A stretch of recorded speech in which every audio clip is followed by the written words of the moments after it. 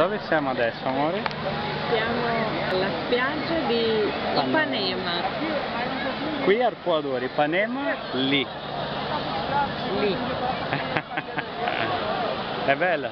Bellissima, però troppa gente. Vedi quanta persona c'è? Non c'è un buco per sedersi.